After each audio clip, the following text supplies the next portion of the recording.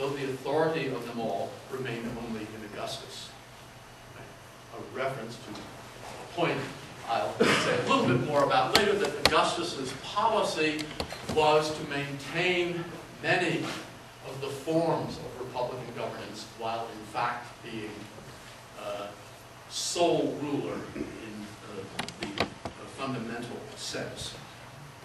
Similarly, one, one more passage right there. Uh, as Augustus is sick and people begin talking about the future, this is how Tacitus describes it, what's going on. Again, Paul's translation. Some few there were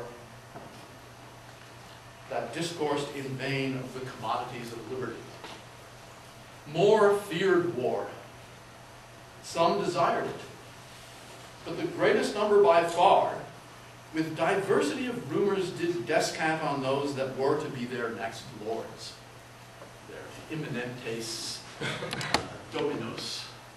Uh, you see. So, so what is that? Uh, and Hobbes comments on that. Long comment, sort of a page comment on pretty much each couple of sentences of, of. The, the, the comment I want to mention here is, is this, for liberty they had no hope at all. But yet that was also talked of. For men have generally this infirmity, that when they would fall into consideration of their hopes, they mistake and enter into a fruitless discourse of their wishes. Such impression do pleasing things make in man's imagination. So, in other words, Hobbes' interpretation, and I, I agree, I think that is the only way truly to take what Lazarus is saying, is that, yes, some few talked of liberty, but it was empty talk. In fact, uh, passage uses the word incassum, in vain, fruitless talk of what is good about liberty, the goods of liberty, commodities of liberty. But uh, that is not a serious alternative. Other people, most people fear war.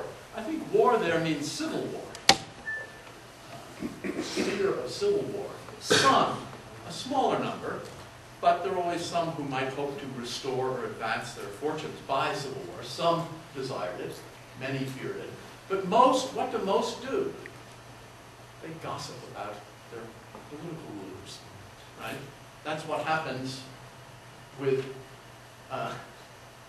what public discourse becomes when serious participation in choosing rulers or deciding policies is not available. We gossip about our masters, right? And in this case, various gossip is passed around about their likely future uh, masters. Um, rethinking then, as I say, uh, probably more jaundiced view of advanced years, uh, Tacitus, it does seem to be in fact obvious that uh, his judgment is no, no possibility of restoration of Republican institutions. He makes that clear in several other places as well. Uh, I just chose here the most obvious and, and, and, best known, which I had not adequately reflected on myself before thinking it was still a kind of open question. I think for Tacitus, it isn't.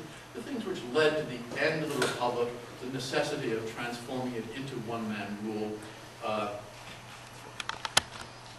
were, were, were, not reversible in, in, in any uh, imaginable circumstances that were faced at the time of the death of Augustus or any time during Tacitus's lifetime. So he, I believe he's not addressing that question, but, but he is doing what is, in a way, more obvious what he is, that, that he is doing, namely, seeking to try to understand imperial rule, one-man rule.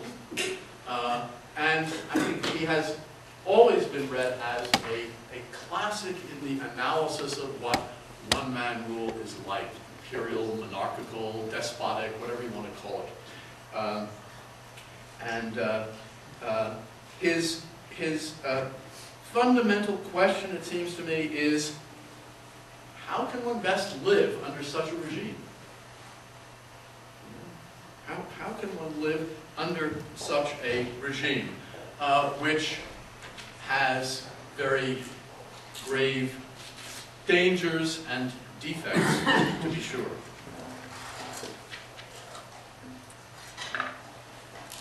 Now, before turning to some remarks on his major writings, the two, the two historical writings, uh, I'd like to say uh, this about his three short earlier writings.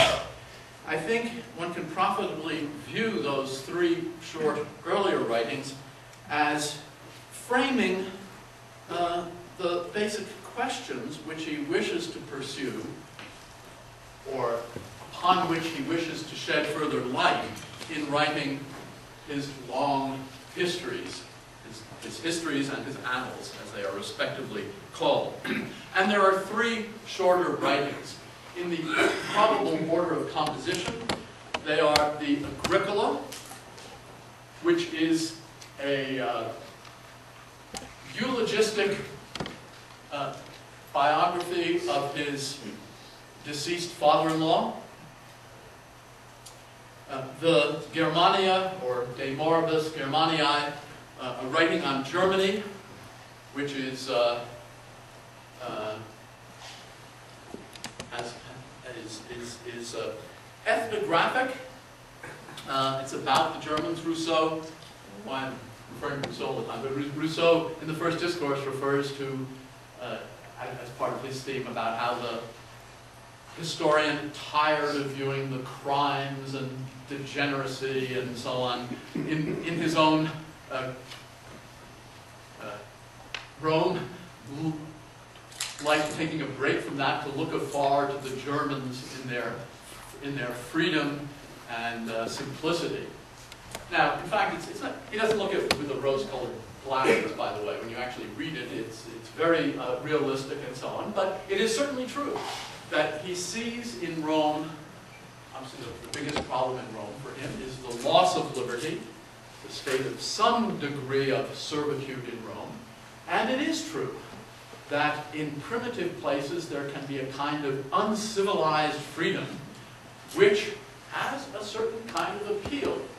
Uh, this writing on Germans, which I'm saying just a word now because I want to talk about the other two, so I'm just disposing of this one quickly, the middle one uh, was, was uh, uh, of course, very influential on Germans.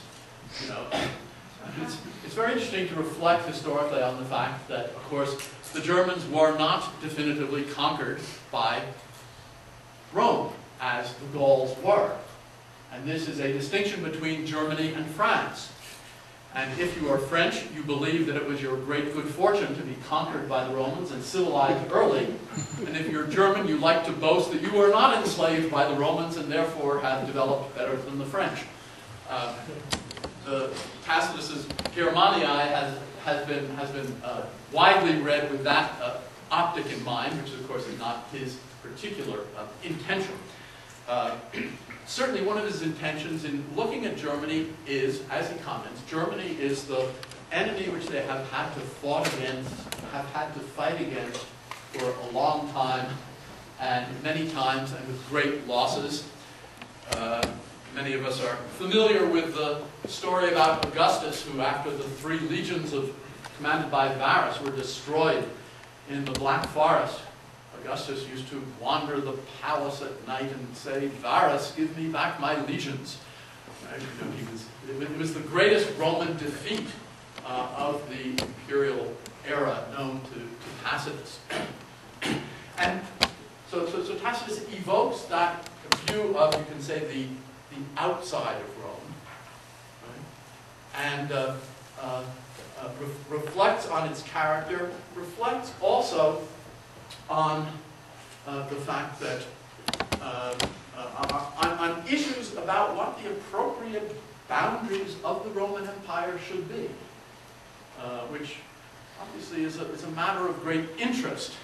Uh, there's a passage actually in the Agricola uh, which reflects on the same issue, very brief.